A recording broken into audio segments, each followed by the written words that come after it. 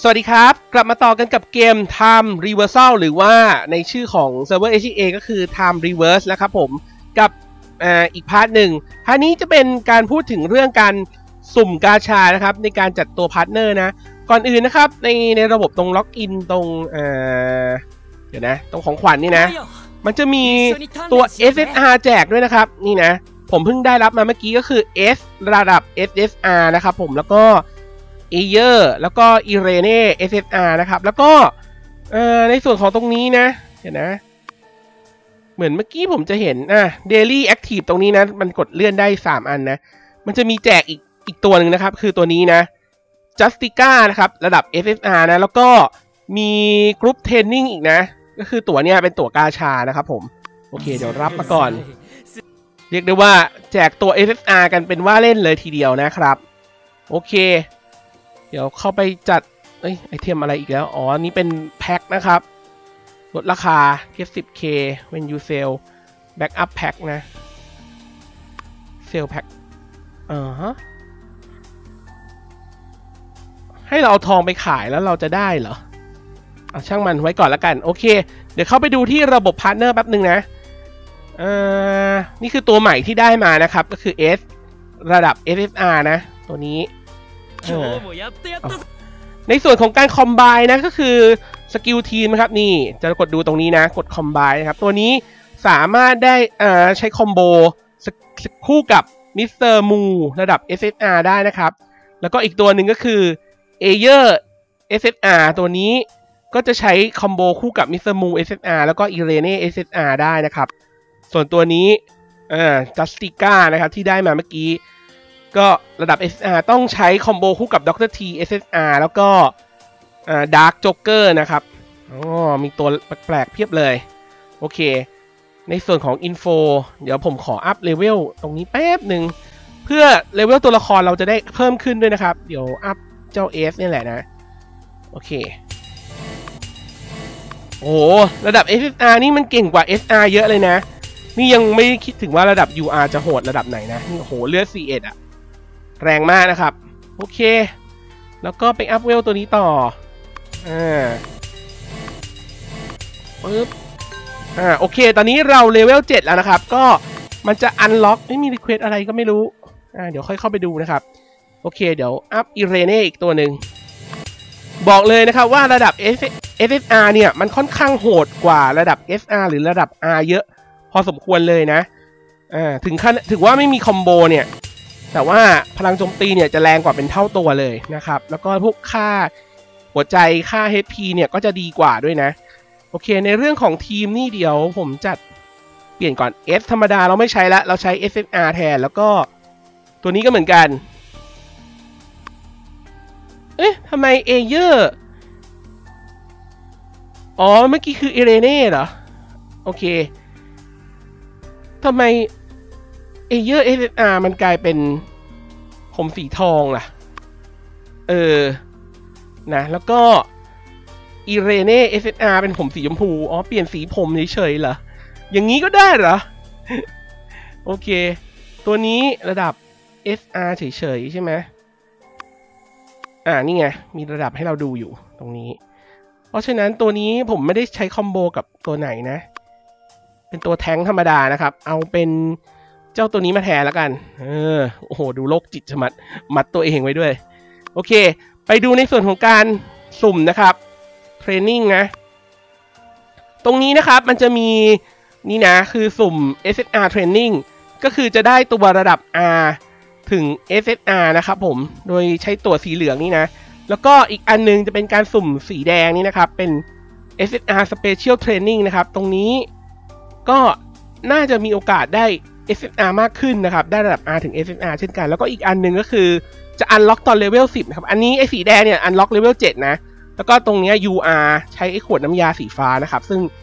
เดี๋ยวเลเวล10 เนี่ยมันน่าจะมีออกมาสุ่มให้ผมว่าน่าจะมีแจกแหละนะโอเค เดี๋ยวเราจะลองสุ่มระดับ SSR โดยใช้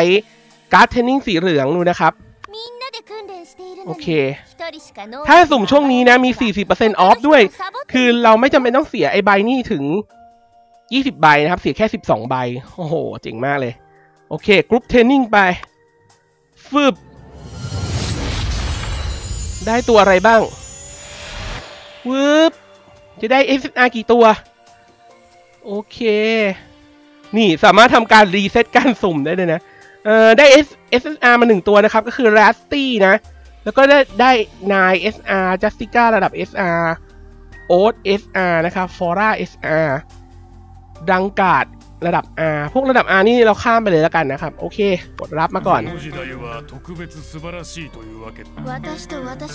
นี่ตัวนี้เจ๋งอะนิก้า เท่ แต่ว่าเป็นระดับ R เองนะ ระดับ R นี่เราข้ามข้ามไปก่อน ตอนนี้เราโฟกัสไปที่ระดับ SSR เท่านั้นเลยนะ นี่รัสตี้นะครับอิน partner เป็น maid สาวนะ โอ้ แต่งตัวเซ็กซี่มาก โอเค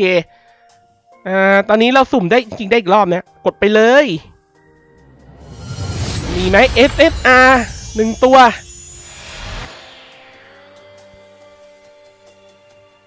อ่า ได้บูม SSR ล่ะ เออ แล้วก็มี S ระดับ R แซมิเอลมิสเตอร์มู Executor โอเค ก็ได้เป็น SSR มาเนี่ย เอาหมดแหละนะ โอเค คือตัวละครนี้เยอะมากนะจำชื่อได้ไม่หมดเลย แต่ที่แน่ๆนะครับเขาจะแบ่ง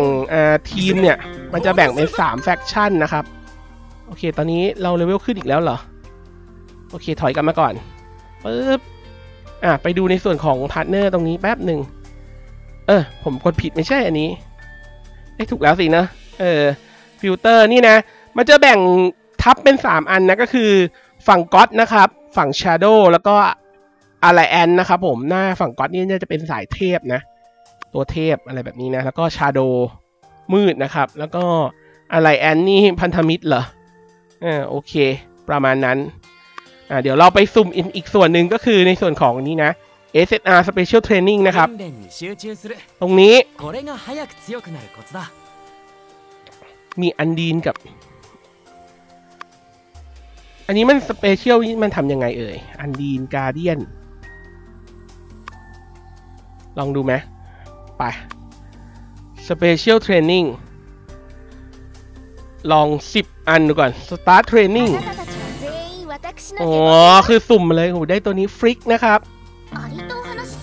SR โลลิต้า SR อันดีน โอ้ อันดีนระดับ SR ด้วย โอเค อ๋อ มันคือประมาณนี้คือได้ตัวที่อยู่ตรงนี้นั่นเองนะครับ โอเค มีอันอื่นด้วยนะ Guardian แล้วก็ S มีเซฟราอ๋อ มีหลายอันให้เลือกเลยล่ะ เวดามิว ทีมของเราส่วนมากจะเน้นไปทางชุดไหนเนี่ย ตัวนี้ไม่มีเลย Executor Semira มิสเตอร์มีอ๋อมันคือเป็นแบบเสริมทีมที่เรามีอยู่นะ ก็คือมาสุ่มที่ตู้นี้นะครับโหเยอะมากอะ่ะตู้นะเยอะเยอะจนแบบอะไรอยู่เนี่ยเต็มไปหมด โอเค เอาเป็นว่าเอาไอ้นี่แล้วกัน อันดีเมื่อกี้เราได้ไปแล้วตัวหนึ่งลองเป็น guardian ดูบ้างอ่าสักยี่สิบใบเออปึ๊บ start เทรนนิ่งได้นิก้า ได้การเดียน SR มาตัวหนึ่งเป็นหุ่นยนต์ใช่ไหมปิ๊บปิ๊บปิ๊บปิ๊บเต็มโอ้ได้การเดียน SR ด้วยนะ ปิ๊บปิ๊บปิ๊บปิ๊บแล้วก็เดี๋ยวเอาอันนี้อีกทีหนึ่งอะ อีกเมื่อกี้สุ่มแล้วสิบใช่ป่ะ เอาอีกสิบอะพอดี อ๋อ คือจะได้ซ้ำแล้ว โอเค อ่า ประมาณนี้นะครับ ไป โห แล้วมีของขวัญอะไรมาแจกอีกแล้วเต็มเลย รับหมดครับ ได้ตั๋วมาอีกแล้ว ก็ตรงนี้โหได้ใบสุ่มมาอีกเพียบเลยปึ๊บอะประมาณนั้นแล้วก็เขาให้ลองไปเล่นในชาออสโหมดนะครับcredit mode ให้ battle กับตัวนี้เหรอกดล็อกเลเวล9ใช่ไหมตัวนี้ อันนี้เหมือนเป็น PVP ป่ะ ดูเหมือน PVP เลย โอเคจัดนี่ลงไปฟันก่อนเลยเขาเล่นตัว summon นะ นี่เราเจอคู่ดาบ SR ของเรา combo ประสาน นี่ น่าจะเป็น PVP นะตรงเนี้ย ใช่จริงๆด้วยเนี่ย คุณควินเฮดเคโอ้มันมีการที่ลงมาเว้ย เดี๋ยวนะ เรามีมือปืน เฮ้มือปืนเราโหด นี่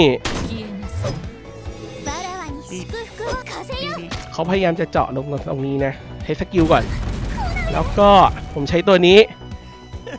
ฟันแรงนะครับ เราเน้นโจมตีที่ตัวละครเขานะ ไม่เน้นตัว NPC นะเออนี่คอมโบดาบอีกแล้วเออเป็นยังไง การจัดทีมมันต่างกัน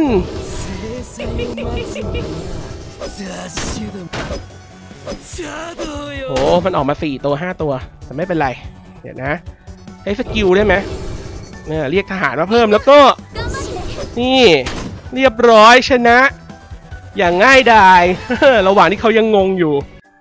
เรานี่ฝึกมาแล้ว โอเค อ๋อ มันคือระบบ PVP แบบนี้นี่เองนะครับ โอเคนะ อะ ก็สำหรับคลิปการสุ่มกาชากับเกม Time Reversal หรือว่า Time Reverse ในชื่อของ s e r v e FEA เนี่ยนะ ก็เอาเป็นว่าประมาณนี้แล้วกันนะครับผมสำหรับใครที่ ชอบเกมที่แบบแนวแท็กติก มันจะคล้ายๆ ผมไม่รู้ว่าเขาเรียกว่าคล้ายๆ โกะของญี่ปุ่นหรือเปล่านะ มันคือการวางตัวละครมาบล็อกกันนั่นเองนะครับผม แล้วก็เพื่อฆ่าตัวตัวละครหลัก ซึ่งเป็นเฮดของแต่ละฝั่งให้ได้นะประมาณนั้น แล้วก็ตัวละครเนี่ยค่อนข้างมีเยอะมากนะ ใครชอบเกมแนวนี้ก็ลองโหลดมาเล่นดูนะครับผม โอเคครับสำหรับคลิปวันนี้ก็ขอตัดจบเอาไว้เท่านี้นะครับผมสำหรับใครที่ชอบคลิปนี้ก็รบกวนช่วยกดไลค์เป็นกำลังใจให้ผมด้วยนะครับแล้วก็สำหรับใครที่อยากติดตาม การรีวิวเกมต่างๆนะครับเกมใหม่ๆเกมมือถือทั้งอ่าทั้งมือถือแล้วก็ทั้ง PC นะ ก็อย่าลืมกด Subscribe ช่องของผมไว้นะ แล้วเดี๋ยวเจอกันในคลิปต่อๆไปครับ สวัสดีครับ